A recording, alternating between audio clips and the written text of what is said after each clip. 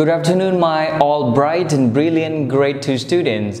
Welcome back to our health education online class. Today we are going to continue our lessons that we have learned in the previous section.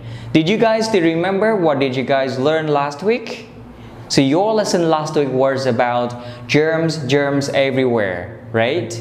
And that was our first session or first section of our lesson. Today we will continue to the section, another section which is about getting rid of germs. So I want to do a quick review with the previous session first before getting to this point.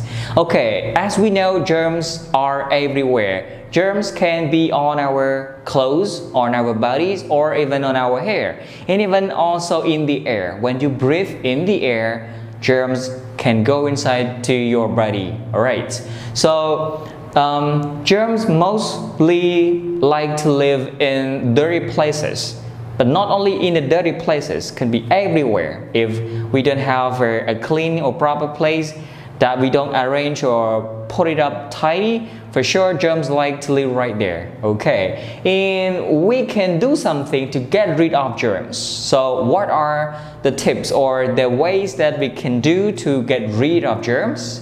Take a look at the whiteboard. I have something to share with you right now. So to get rid of germs we should have proper hygiene what are the activities or things that we should do to practice the proper hygiene Okay, so I have uh, some tips right here for you to practice to have the proper hygiene. The first one, wash our hands with soap as often as possible. Okay, always remember to wash your hands with soap and if you can do it uh, very often it would be nice because you can clean your hands and when you are washing your hands don't forget to apply soap when you apply soap and scrub your palms together, scrub it, count from 1 to 30. Wash your hand at least 30 seconds. Scrub your palms together with soap so that you can remove the germ from your palms and they will not be on your, your palms anymore, okay? So the first tip is to wash the hands with soap as often as possible.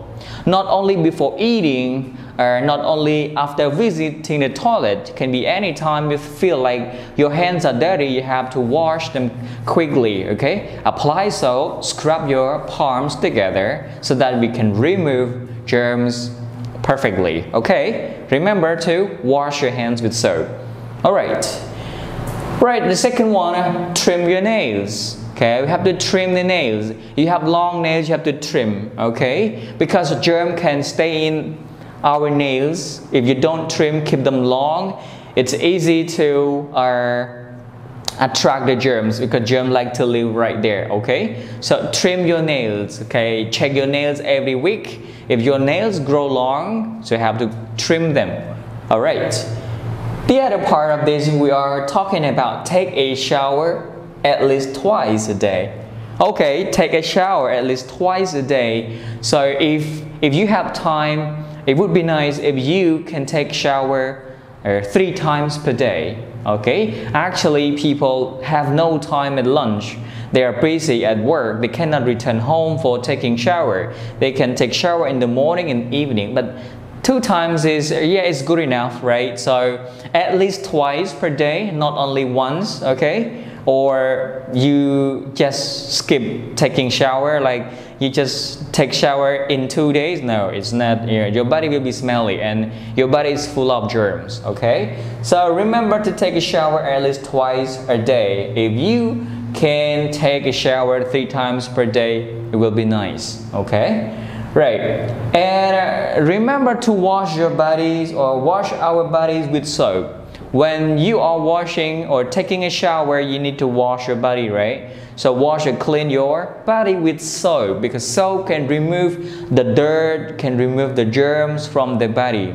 As I told you, germs are everywhere, can be on our body as well. So if we just take shower, just shower our body without scrubbing, without uh, washing the body with the soap, for sure germs still stay right there. And and when germs form together, when a lot of germs or too many germs form together, they will make you sick, right? The other uh, tip that we should practice the proper hygiene is wash our hair with shampoo. Yes, germs can be on our hair too, right? So we need to wash our hair with shampoo. Shampoo not only keep our hair neat and nice, it can also wash the germs, kill the germs, okay? And our hair will be healthy, alright? Always keep our clothes clean, definitely you have to keep your clothes clean all the time. Do not just play, just laying down on the floor in the dirty places or sit down in a, uh, on a unclean chairs that make your clothes become dirty. Germs like to stay in the dirty places as I told you. So always keep their clothes clean. One more is the last one. Keep your surroundings clean. Like in your bedroom, the living room, or every place that you are living in, you have to keep them clean, tidy, and nice so that germs will not be able to live right there. You will have no more germs. Germ will not be able to make you sick. Okay? One germ, two germs cannot fight our body. Our body will fight them back. So they will not be able to make us sick. Okay, so that is all. Well, so after watching this video, please copy or write down all of these into your notebook, okay? And then say, I am done. I will drop task one for you guys to complete, okay? Once again, copy your lesson. When you're done, please drop in the group and say, I am done. I will drop task one for you to complete. Okay, I'll see you in the second video clip.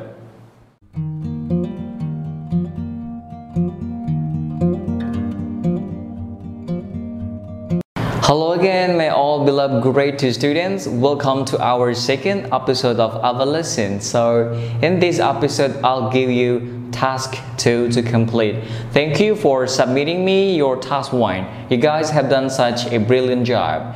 So, right now, we are going to do task 2 all together. Task 2 is about true and false statements. True false statements, okay?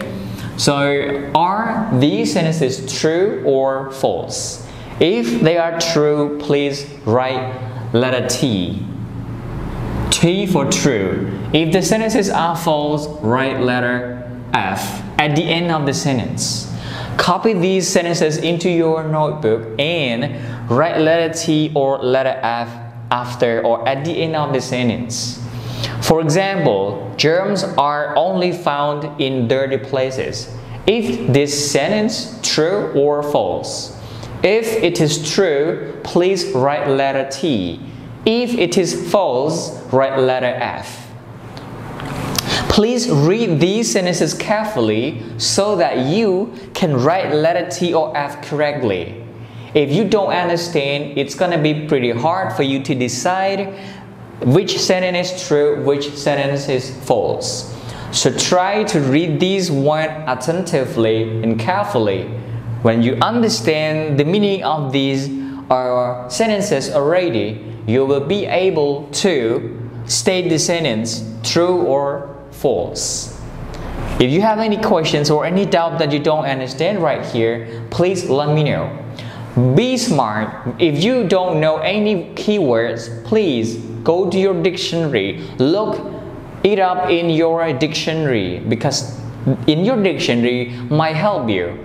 Dictionary can help you to translate from English to Khmer language so that you can understand it pretty well. Okay? So if you don't understand any words, please look it up in your dictionary. It can show the meaning of the words right there. Okay, try to read them again and again so that you will be able to understand and complete this task perfectly.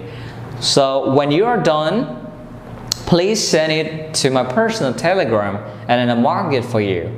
Thank you. I'll see you in the last video clip. Hi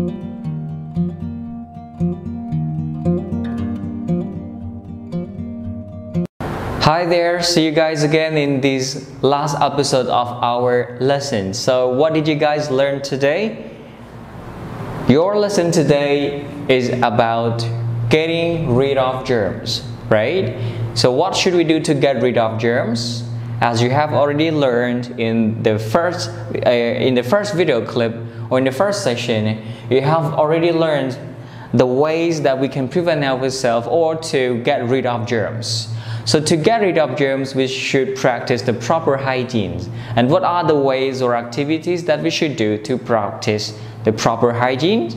Okay, here are. We're gonna, do, we're gonna do a quick review first before we are going to our homework. Okay, so we need to wash our hands with soap as often as possible so that we can get rid of germs. Soap can remove germs, can remove the dirt from our hands. So that's, that's why we need to use soap to wash our hands. And we need to wash our hands not only our not only after visiting the toilet or before meals. We can wash our hands anytime. If you feel that if you feel that our hands are dirty, we need to wash them. So as often as possible so that our hands will be clean, right?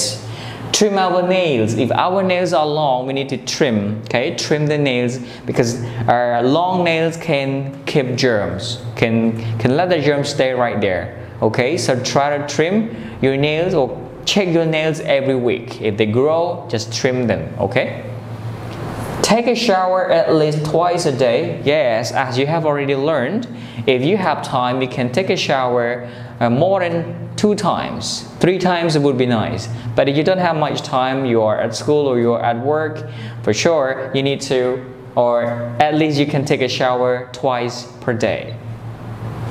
And when you are taking a shower, you need to wash your body with soap. Remember to wash your body with soap because soap can remove the dirt and germs from the body. They will not stay on our bodies anymore. So remember when when you are washing or taking a shower, you need to you need to use soap to wash your body or clean your body, okay? And uh, wash the hair with shampoo. So remember to wash the hair with shampoo because shampoo can also remove or can uh, keep our hair uh, nice and also can remove the germs. Last one, always keep our clothes clean. So we need to keep our clothes clean and nice so that germ will not be able to stay or will not like to stay on our clothes. So try to keep them clean. We'll not just play in the dirty places or spill something dirty on our clothes so germs you know will be happy to stay on our on our clothes so remember these things that we can practice the proper hygiene. After watching this video, please say, I am done. I will post the uh, homework in the group. So try to uh, understand what I have explained in the previous session. Then you will see homework and then try your best to complete your homework. And please submit your homework anytime before the next lesson start. Thank you for your participation, attention, and cooperation. And I'll see you in the next lesson. Bye. Have a good day.